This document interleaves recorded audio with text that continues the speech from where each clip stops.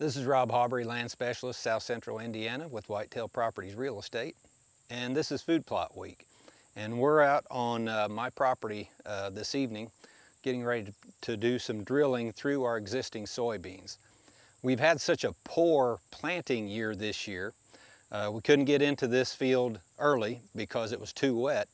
Uh, then once we were able to get into the field and get it drilled, uh, within three days after that, we got over nine inches of rain. So it, it really hurt the soybeans. So this particular soybean field, this little half acre I have right here next to my clover, is really, in my opinion, sparse, a lot of gaps in it.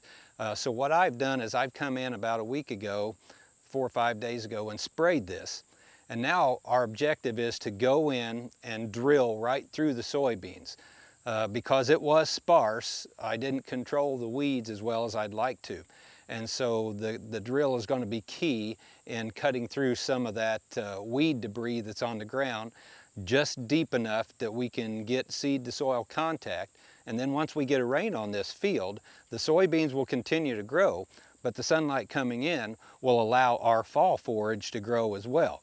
So this winter, as the soybeans start to die back, I'm still going to have a really nice uh, forage opportunity for deer in this field with the varieties that we're planting.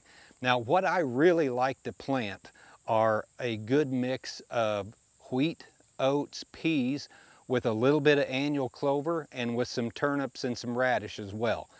One of my favorite uh, cool season annual is a winter pea. Uh, you can plant it. Once it comes up, it will stay three to six inches tall during the winter time. The deer love it. If you let it continue to grow in the spring, the deer will continue to browse on it. So you have forage from a winter pea that can last up to eight or nine months. And that's why it's one of my favorite fall forages to grow through the winter. But I also like to have that nice carpet of wheat and oats underneath it as well. And then you throw in some turnips, some radishes, and then some annual clovers. And really the deer absolutely have a salad bar that they love and underneath your soybeans. So now you've got a salad bar on the ground and above the ground you still have soybeans with pods on them so you have the best of both opportunities there for your deer herd. Now when you're, when you're planting your food plots, you, you have to plan those according to your goals and the weeds you're going to control. For example, if you have a blend that has wheat and oats and uh, uh, sorghum and corn in it, you can't use a grass herbicide on that. So if your weed problem is Johnson grass or crabgrass, you're out of luck. You can't use a, a, a grass herbicide on that planting because you planted all grasses. If, you're, uh, if you plant a food plot that's heavy to broadleaves, whether it's lab lab or soybeans or, or some other type of, of bean or pea or, or even peas, you have to be real careful about not using a broadleaf herbicide or you're going to kill your crop. So when you're planting your food plots, you need to base those food plot plantings on what weeds you're trying to control and then base your food species on that. So when I plant a food plot, especially when I plant soybeans, if I mix corn with soybeans, the soybeans and the corn have to be Roundup ready.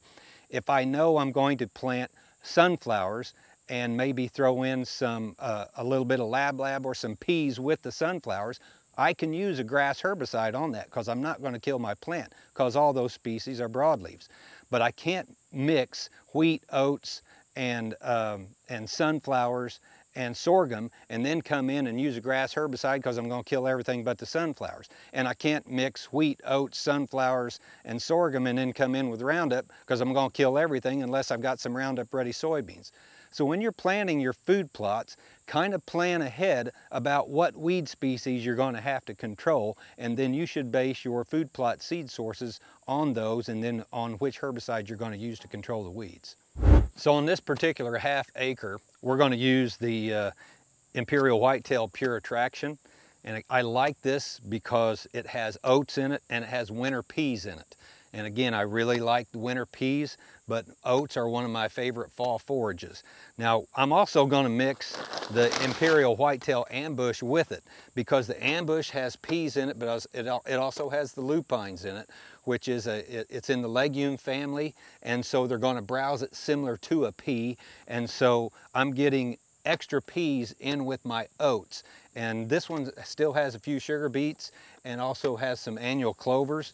Uh, this one has some brassicas, and brassicas are always great when the snow is on because uh, they're a tall, leafy forage and then when the snow is on deer can get right into the snow and those sugars die back after you get a frost and, and the deer absolutely love them so that's why we're looking at both of these to mix them in this one field because I, I, really want more peas but I like the oats so mix them together and I get uh, two of exactly what I like